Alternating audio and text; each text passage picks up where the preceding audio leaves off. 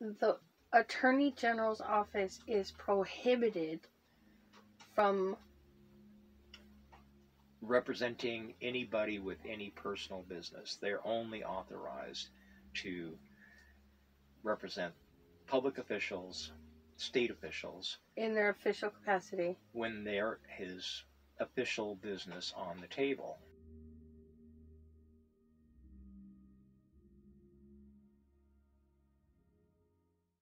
And so then we went out and he granted her motion and we went out and sat down. We talked for two hours in front of a, another a witness uh, about What's how, the importance of, of asking, is she authorized to make this motion? What's well, the importance? If, if she hadn't been, if she would, and she later told me, she said, on her first substantive pleading, the first time that she filed this, she she said, I am making a motion to quash the subpoena for the Brown. Quash means get rid of it, and um, and at the bottom of the first page, she had a footnote, and she said, ORS 180.220 prohibits the Attorney General from working for anybody other than a state official with official business on the table, and the subsection 2 says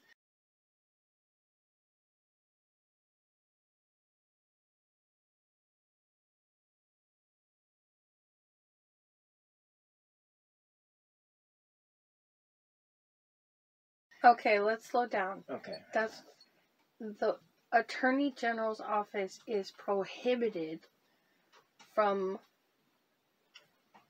representing anybody with any personal business. They're only authorized to represent public officials, state officials, in their official capacity. when there is official business on the table. And Kate Brown's stalking order against you is not official. That's Business. that has something to do with interfacing personally, right? Stalking. Even if there was stalking, but she said there wasn't.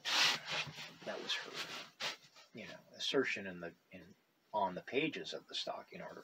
So the Attorney General's office should not have touched this case because she's not acting. And she's reluctant.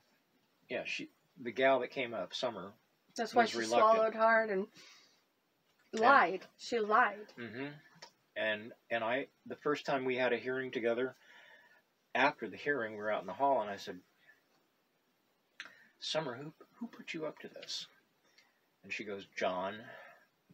Then, but it was quiet. She didn't want to have everybody in the room hear it. And in the hall, and there were a couple sheriffs standing close enough to hear her.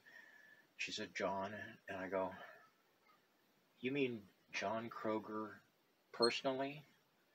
he's the he was the attorney general and she goes yes So Kate Brown, as the is she still Secretary of State at this time? Yeah, she's Secretary yeah had State. just become yeah, Just same be- year Yep, just become Secretary of State and is using the Attorney General's office as her private attorneys mm-hmm. to hurt you, hmm who is trying to.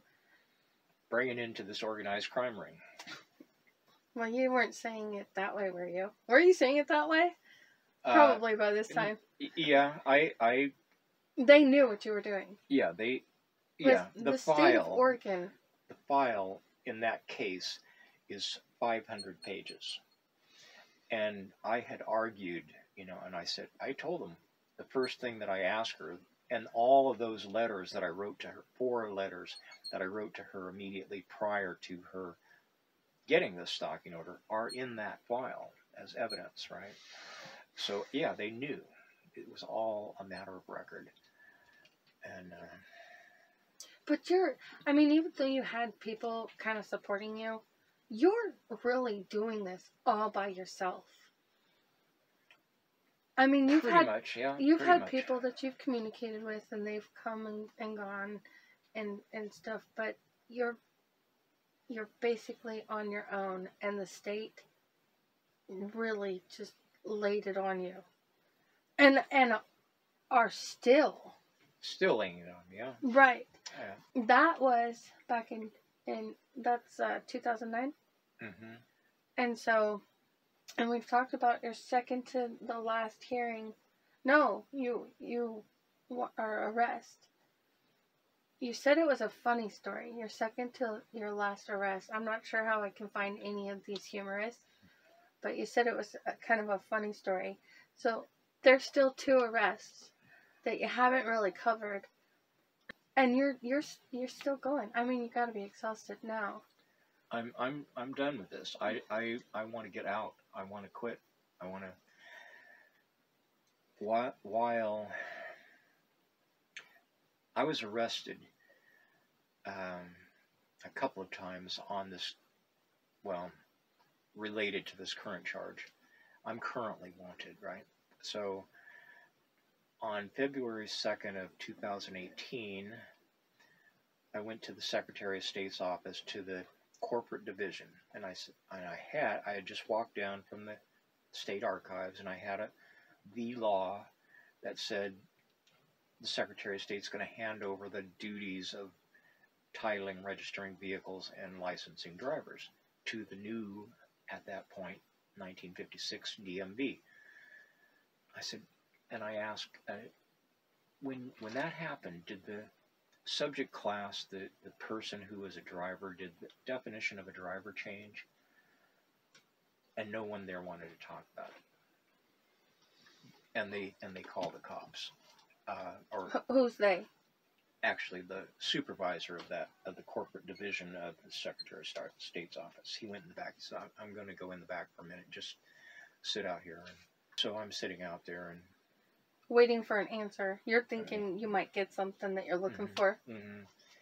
and while I'm while he's back there, I start writing it out on a piece of paper, and he comes back in, and I hand him this piece of paper with my request, and here come the cops through the front door, and they said, well, they they knew they couldn't. They arrested me, but they knew they couldn't keep me, so they said, just get out of here, and I So they put you in cuffs, no. like that kind of arrest, No. or they just they said, "Hold on, you're not They had going me surrounded against a wall. There were several of them unlawfully sergeant. detained." unlawfully detained and and the sergeant went back in the office and talked to they they wouldn't let me stay in front of the Camera. the camera in the office they said we're going to go out in the hall and they put me against the wall and these officers were keeping me there and he came back out and he said okay uh, we can't keep you but and i said okay what's the deal here and Yeah, what's that for? and they said, "Just get out of here." But we're but we will get you. And I go, um, Do you "You're, remember you're this going to get name? me for what?" Who's this guy's name? Do you remember this guy's oh name? yeah, that guy was the sergeant was Plummer, Sergeant Plummer, and I'd been What involved county? with this is Marion County. Marion County. I'd been involved with Sergeant Plummer several times before, and uh, he said, "We will get you." And I go, "What are you going to get me for? Don't I have a choice to be gotten or to commit some act that I might know about, or no? Just get out of here." So within a within that week, I went into hiding because I took them seriously.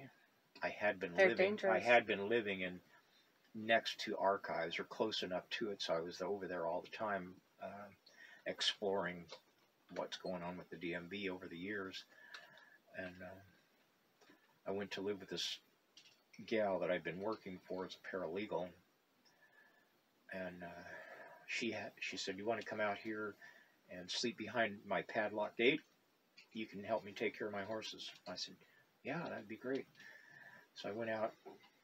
Hadn't been there before. Didn't really know what was going on, but she had a herd of fifty-six horses, and uh, they were uh, a very welcoming group.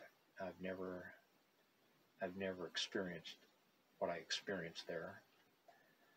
The horses. Uh huh. the horses, and one of them, one of the the biggest mare in the herd. she told me that she was going to be mine. She said, you know, I'm going to essentially be your mom. I'm going to support you. And I was blown away. I, I went in to meet her one night. I, I was attracted to her because she was so big, and I went in to her stall, and I, we had this kind of, it wasn't, we weren't talking English, but we were communicating, and, and by the time, and I didn't even touch her, but by the time I left, she had laid her head in my arms across my chest. Mm. And I, and I, I'm just blown away. I, what is this? I, I don't even know you yet. I just met you 10 minutes ago. And anyway, she became very, Special to you. yeah. And I just want to, I want to live with that herd of horses, or as many as I can. And And you found out recently that those horses were actually there's there's like a legal issue going on and she she was unable to adequately care for them. And she had been she was obsessed and she couldn't benefit from their being close to her. She couldn't appreciate them for what they were and the lady that owned them the and so the horses were taken by the state and now the, this herd of horses that you're talking about the state has. And she her trial is coming up next week. And and you in your position right now you're a wanted man for all this stupid stuff that's completely illegal completely unlawful completely criminal the state. Yeah. And all i want to and all you want is her. And you can't I want to go. Yeah, I want to live with. This, What- what's her I'll, name? I'll even her tell. Yeah, I'll say her name. Her name is Tailored Forever, tailored forever and um, she's this huge red horse. Um, anyway, And- that's that's what I want to do, but I. I You can't. Need, I need help I need money to support a herd of horses. I need you land. need the state to get off of you I need the state to compensate me for the shit that I put up with. Anyway, that's that's my current ambition.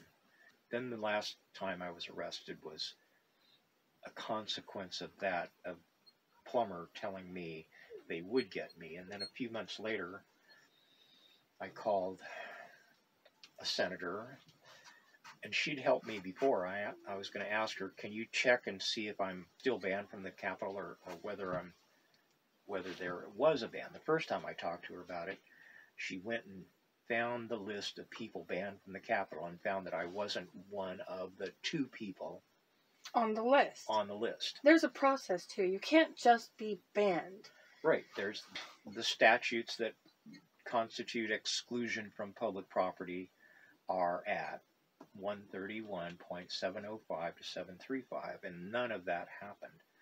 None of that happened. So I was, you're not on the list I'm not, I, I no, I didn't get to talk to her. Uh, and, but I wanted to ask her, can you check again and see if I'm on it now or whether anything changed? But I talked to her staff, and the staff talked to the cops, and the cops and wrote who this. who is her i don't think The staff. Oh, her name was um, the senator is it a senator no, her no the senator was Kim Thatcher, and the and the this other gal was named uh, Linda something. Linda, one of one of thatcher's staff members yeah, phone answerer, okay and she said, "You're not supposed to be calling here." I said, um, and I called her a, I called her an appropriately ugly name, and and she told the cops, and the cops wrote this affidavit in support of her warrant, and they didn't even do any. They they should have asked her to write this. because you called her a name uh, and, and yeah, that was that. That's what they. That's what they thought telephonic harassment was. Is if you talk ugly on the phone. And that's freedom of speech. But that's But you weren't always talking ugly in the beginning. It's just now you're no, when she told me Yeah. you can't be calling here, that's when I, I go. Yeah, I'm just like ah. I call her stupid. And, hmm and um, but she was supposed to write that. She's it should have said he called me. I heard him tell me this. And but even then it wouldn't have been telephonic harassment because that I wasn't banned from the Capitol in any legitimate sense of the word. I wasn't prohibited from calling her boss. And I never should have been And ever ne- and for never- any of right. this. Yeah, and her boss knew that, and and had told me I wasn't on the banned list. That's right.